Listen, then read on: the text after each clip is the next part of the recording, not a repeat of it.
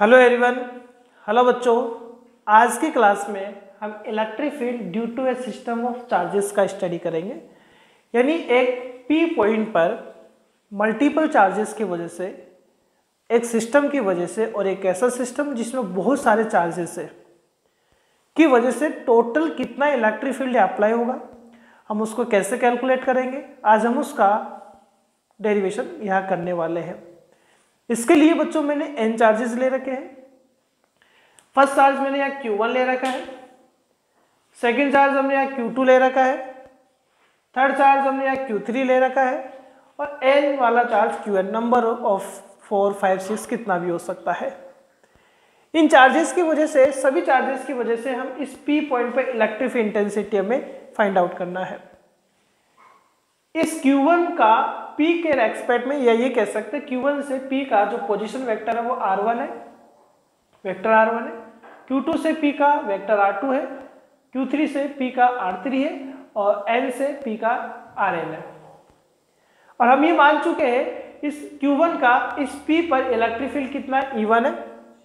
Q2 के कारण P पे electric field E2 positive charge ले रखा पॉजिटिव में इलेक्ट्रिक फ़ील्ड बाहर की साइड होता है तो इस P से हमने बाहर की साइड इसका डायरेक्शन ले रखा है। नेगेटिव लेते हैं तो डायरेक्शन हम इनसाइड ले लेते हैं, अंदर कर लेते हैं। इस Q3 के कारण इस P पर इलेक्ट्रिक फ़ील्ड E3 ले रखा है डायरेक्शन आउटसाइड हो गया आउटवर्ड होगा। Qn के कारण भी En पर हमने इलेक्ट्रिक फ़ील्ड सॉरी P पर इलेक्ट्रिक फ़ील्ड En ले रखा है। तो हम ये total electric field P point पर इन सभी चार्जेस की वजह से कैसे फाइंड आउट कर पाएँगे? तो इसके लिए हमने लिखा है the electric intensity at a point जैसे आपको पी पॉइंट पर फाइंड आउट करना है। ऑफ़ ए सिस्टम एक ऐसा सिस्टम जिसमें बहुत सारे चार्जेस है इज़ द वेक्टर सम एक वेक्टर सम के इक्वल होगा of electric field at that point of individual charges यानी ये स्टेटमेंट क्या कह रहा है कि जैसे पी पर जो इलेक्ट्रिक फ़ील्ड इंटेंसिटी आएगा, वो E one E two E three और ई एन इन सभी के वेक्टर सम के क्या आएगा? इक्वल आएगा। इन सभी चार्जेस की वजह से जो इलेक्ट्रिक फ़ील्ड आ रहा है, उनके वेक्टर सम के equal total electric field intensity P point पर प्राप्त होगा। यानी यदि मल्टीपल चार्जेस की वजह से इलेक्ट्रिक इंटेंसिटी हम फाइंड करें तो इलेक्ट्रिक इंटेंसिटी इस पी पॉइंट पर जो आएगा, इन सभी चार्जेस की वजह से इन सभी चार्जेस की वजह से जो इलेक्ट्रिक फ़ील्ड लग रहा है, उन सभी के वेक्टर सम के इक्वल आएगा। और हमें बच्चों इलेक्ट्रिक फ़ील्ड पता है क्या होता है? के क्यू अपॉन आर स्क्वायर होता है।